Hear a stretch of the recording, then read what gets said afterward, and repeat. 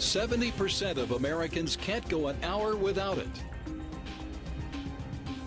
The addiction that may have taken over the lives of your friends and family on today's 700 Club Interactive.